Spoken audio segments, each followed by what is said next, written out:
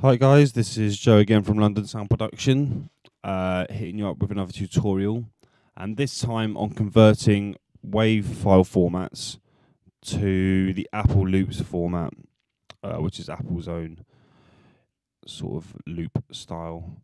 Okay, first of all, I'm going to start by selecting a sample, and it's going to be this hip hop loop I've got here. And what I'm going to do is have it highlighted and go to audio and go open in Apple Loops utility. Uh, it'll ask you to set the loop length, but it's pretty good at finding it itself. Um, we've got a four bar loop, so I'm gonna go use set length, and then this separate program Apple Loops utility will open up, and what I'm gonna what I'm first gonna do is select looping because uh, with non-looping selects selected it doesn't find the transients. So I'm to set looping uh, so it finds all the transients. So it recognizes it as a loop.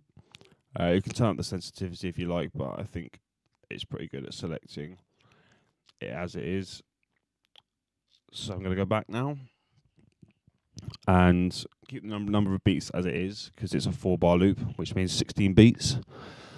Um, if you're doing some sort of instrument loop, then you can select uh, the key you want it to be in and also the scale type. But as this is a drum loop, I'm going to leave that alone. Uh, time signature, yeah, 4 4. And you can insert a load of information here. So because it's my loop, I'm going to do LDN sound.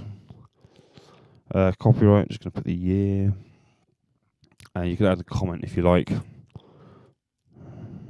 just going to add a little comment.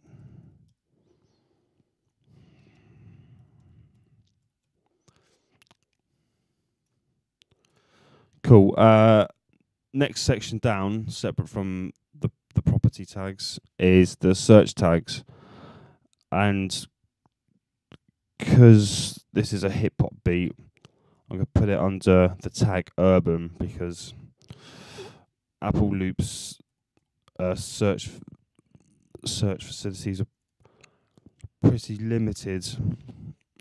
Uh, I'm just to change that to proper spelling. So yeah, it comes under urban because it's a hip hop loop, and I'm to do that for all these search options.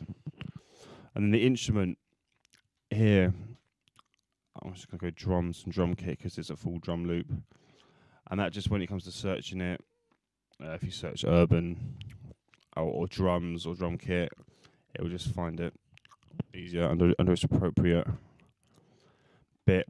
Uh, the descriptors are sort of like when you're searching through Apple loops, uh, you want a particular feel for the the loop that you've got.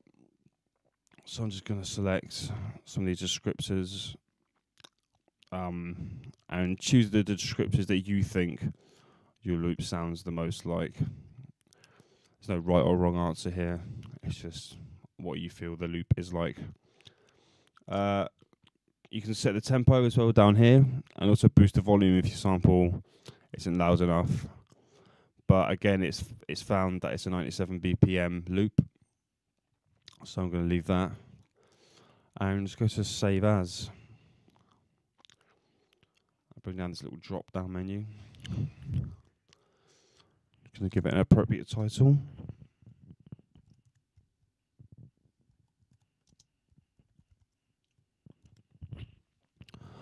And hit save.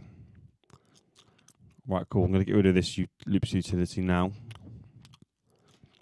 So get rid of my uh, original file. Find the loop on my desktop. There we go.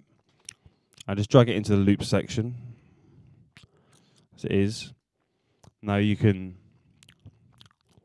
run a search. So I'm going to have a little look. Search by genre, urban. And I'm going to find one of the loop, uh, one of the descriptors that I saved it as. Go electric.